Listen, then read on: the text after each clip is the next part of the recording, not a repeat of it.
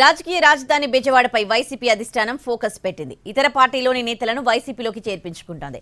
గత ఎన్నికల్లో బెజవాడలో ఉన్న మూడు సీట్లలో రెండు గెలుచుకుంది వైసీపీ. ఈసారి మూడు చోట్ల గెలవాలని లక్ష్యంగా పెట్టుకుంది. బెజవాడ సిటీలో తూర్పు సెంట్రల్ పశ్చిమ నియోజకవర్గాలున్నాయి.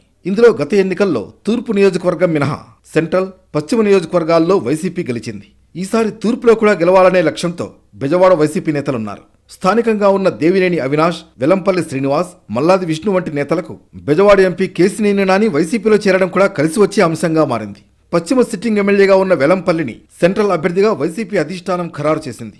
దీంతో అక్కడ గెలుపు కోసం టీడీపీలో మాజీ కార్పొరేటర్లందరినీ కూడా వైసీపీలో చేర్చారు వెలంపల్లి. ఎమ్మెల్యే విష్ణు సహకారంతో ఎట్టి పరిస్థితుల్లో సెంట్రల్లో గెలవడానికి అన్ని ప్రయత్నాలు చేస్తున్నారు వెలంపల్లి.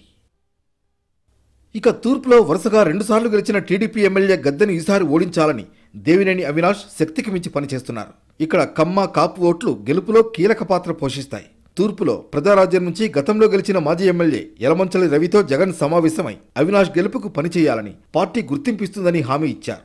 గత ఎన్నికల్లో జనసేన అభ్యర్థిగా ఉన్న బత్తిన రాము సహా ఇతర నేతలను వైసీపీలో చేర్చుకోవడం ద్వారా కాపు ఓట్లపై కూడా పార్టీ ఫోకస్ పెట్టింది. అవినాష్ ఖచ్చితంగా గెలవాలంటే చేపట్టాల్సిన అన్ని చర్యలను వైసీపీ అధిష్టానం చేపడుతోంది. అవినాష్ తండ్రి మాజీ మంత్రి దేవినేని నెహ్రూ సన్నిహితులతో కమ్మ వర్గానికి ఉన్న పాత పరిచయాలను కూడా ఈసారి గెలుపు కోసం వినియోగించుకోవడానికి ప్రయత్నిస్తున్నారు. ఈసారి తూర్పులో వైసీపీ జెండా ఎగరాలని నేతలు పట్టుదలతో ఉన్నారు. మరోవైపు బెజవాడ పశ్చిమ సీటులో వైసీపీ హవా గత రెండు ఎన్నికల్లో కొనసాగింది. రెండు వేల పద్నాలుగు రెండు వేల పంతొమ్మిది ఎన్నికల్లో వైసీపీనే ఇక్కడ గెలిచింది. రెండు వేల పద్నాలుగులో జలీల్ ఖాన్ రెండు వేల పంతొమ్మిదిలో వెల్లంపల్లి గెలిచారు. రెండు వేల ఇరవై నాలుగులో షేక్ ఆసిఫ్ను పార్టీ అభ్యర్థిగా నిలబెట్టింది. అరవై వేల మంది మైనార్టీలు ఉన్న ఇక్కడి నుంచి ఆసిఫ్ గెలిచి హ్యాట్రిక్ కొట్టాలని పార్టీ భావిస్తోంది. ఇక్కడ కూటమి నుంచి కేంద్ర మాజీ మంత్రి సుజనా చౌదరి అభ్యర్థిగా మారడంతో కేసినేని నాని ఇక్కడ ఎక్కువ ఫోకస్ పెట్టారు.